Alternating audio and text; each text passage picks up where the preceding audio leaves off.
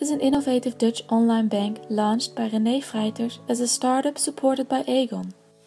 Knab was founded in 2012 because we believe that our customers will become more and more responsible for their own financial position. But the expected traction from the market did not take place in the first one and a half years since going live. From the beginning, Knab was a great concept with a great product. However, sales were very slow.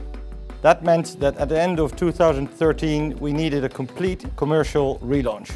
And as an effect, we've seen exponential growth and we've met all our targets in 2014. To realize this relaunch, Knab transformed in 2014 to an organization driven by the power of data and analytics. As a result, the number of customers multiplied by 10 within only one year, and we can even speak of an exponential acceleration, where the number of customers is a function of e to the power of the number of the week. Where the net growth of fee-paying customers was less than 50 per week at the end of 2013, this number increased to over 900 per week at the end of 2014. To create success with data and analytics, we took a four-step approach. In the first step, we build a longitudinal view of a customer.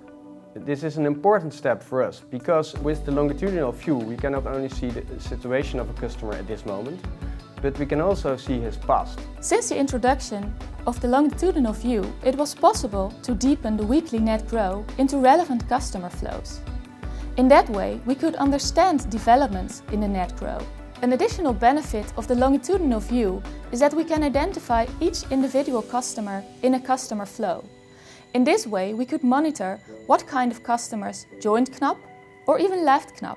We could, for example, explain why a specific month had a notable low net growth. Not because the inflow was low, but because the outflow was extremely high. Due to this insight, we knew we had to focus on reducing the outflow of customers, instead on focusing on the inflow. To follow the development of the customer flows, we introduced the weekly Knab scoreboard. This made it possible to react upon developments in the customer base and monitor the performance with regard to the target. To create commercial success, a scoreboard is essential, not only to assess which commercial incentives are working and which are not, but before all, to create this focus so that everybody is working in the same direction. In the second step, we used the longitudinal view of the customer base to identify levers for growth.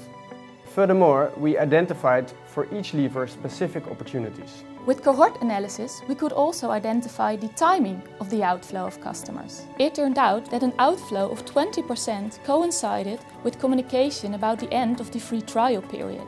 Modifications in this communication resulted in a decrease of the outflow to only 5% after this communication. In the second step, we saw that for one uh, lever acquisition, we needed more information.